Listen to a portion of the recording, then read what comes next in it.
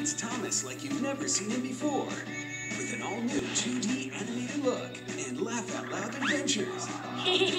Thomas and his friends are ready for a new generation of fans. Woohoo! Thomas is the hero of every episode.